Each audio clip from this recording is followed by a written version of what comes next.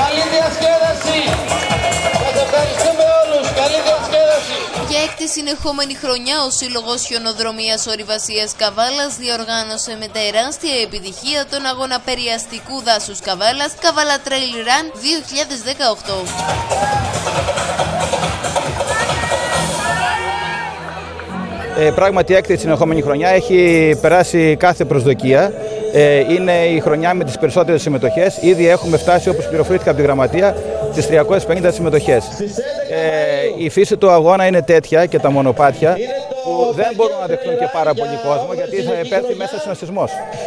Ε, θέλουμε να ευχαριστήσουμε από καρδιάς πρώτα όλους ε, οι οποίοι βοήθησαν τους εθελοντές που είναι μέσα ήδη τώρα ήδη στα μονοπάτια τον ε, Δήμο της ε, Καβάλας που αγκάλιασε φέτος ακόμα περισσότερο ε, από κάθε χρονιά τον αγώνα. Ε, τους, ε, αυτούς που έχουν κάνει τις προσφορές σε δώρα και φυσικά όλα τα μέλη του συλλόγου που συμμετείχαν στη διάνοιξη των μονοπατιών. Πια ξεπεράσαμε κάθε, κάθε προσδοκία καθώς είχαμε βάλει σαν στόχο τις 300 συμμετοχές, ήδη είναι 350 και γράφονται συνέχεια. Δεν ξέρω, μπορεί να φτάσουμε και τις 400. Αυτό σημαίνει ότι θα δώσουμε δύο κινήσεις υποχρεωτικά, καθώς το στο μονοπάτι μετά το πρώτο χιλιόμετρο στενεύει απότομα και για να αποσυμφορήσουμε τον ε, κόσμο που θα μπει στο πρώτο μονοπάτι θα δώσουμε δύο κινήσεις περίπου με τρία λεπτά η μία κίνηση από την άλλη.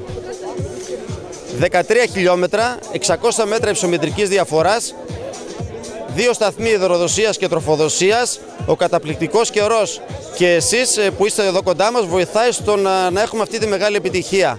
Όποιοι φτάσουν στα ψηλότερα σημεία της διαδρομής που όλοι θα φτάσουν, στο μπαλκόνι της Καβάλας στη θέση Σταυρός, στο 7 χιλιόμετρο, εκεί μπορούν να απολαύσουν την ε, φοβερή θέα ε, προς την πόλη της Καβάλας και την θάλασσα και να ευχαριστηθούν τη διαδρομή. Τα μονοπάτια μας είναι πεντακάθαρα, οι εθελοντές είναι όλοι στη θέση τους και όλα είναι έτοιμα για να ξεκινήσει σε λίγα λεπτά η, ο αγώνας. Είναι η πρώτη φορά που συμμετέχετε; Ε, όχι, είναι η δεύτερη φορά που συμμετέχω. Ε, από πέρσι μου άρεσε πάρα πολύ αυτός ο αγώνας και περίμενα πώς και πώς να ξαναρθεί αυτή η μέρα να ξανατρέξω.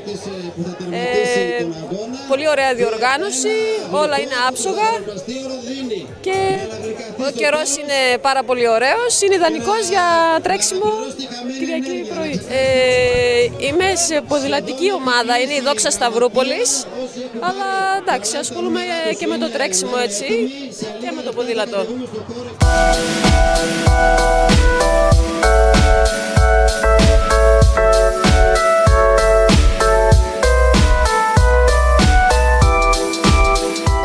Ήταν κατάλληλος για να γνωρίσουν νέοι δρομοί στο ορεινό τρέξιμο αλλά και για τους έμπειρους να δοκιμάσουν τις δυνατότητές τους εν ώψη των μεγαλύτερων αγώνων. Όλη η Ελλάδα είναι κοντά μας. Από παντού, ευχαριστούμε πολύ. Συμμετέχουν από όλη την Ελλάδα, από νησιά, ε, συμμετέχουν από την Αθήνα, από τον Εύρο, ε, Θεσσαλονίκη, Πιερία, από διάφορες ε, περιοχές της Ελλάδας και πραγματικά ε, η πόλη μας έχει τέτοια ομορφιά και με τον αγώνα αυτό αναδεικνύεται γιατί ε, πραγματικά φαίνεται η πόλη, φαίνεται η Θάσος, ε, φαίνεται το λιμάνι, φαίνεται όλος ο κόρπος της Καβάλας μέχρι και το Άγιο Όρος από τη διαδρομή αυτή. Διακεκριμένους αθλητές έχουμε σήμερα; Ε, διακεκριμένους αθλητές έχουμε τον Τσεφαλή τον Δημήτρη, τον Σιδερίδη τον Νίκο που είναι ο Σιδερίδης ειδικότερα όπως το ξέρουν όλοι Πανελληνίου εμβέλειας και όχι μόνο ε, και πολλοί άλλοι αθλητές. Έχουμε από μικρές ηλικίες, δηλαδή από λίγο μετά το δημοτικό άτομα ε, μέχρι και τις μεγαλύτερες 60 ε, χρονών περίπου.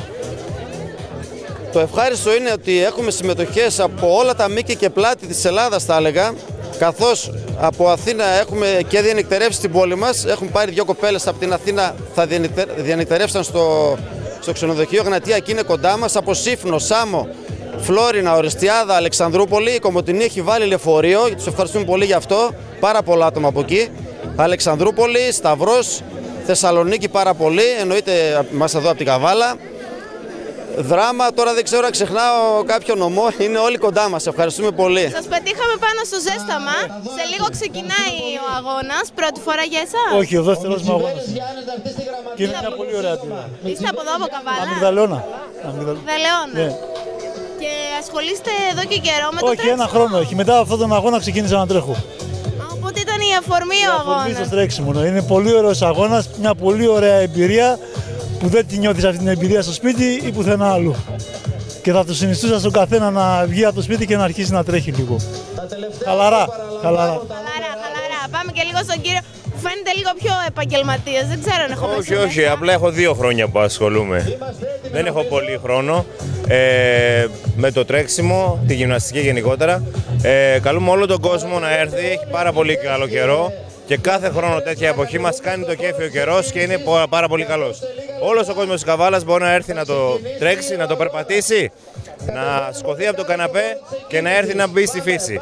Καταπληκτικός αγώνας και το προτείνω σε όλους. Μπορούν όλοι. Είναι μέτρια δυσκολία. Μπορεί να τρέξει από πολύ γρήγορους αθλητές, μπορεί να τρέξουν γρήγορα ε, τη διαδρομή αθλητές.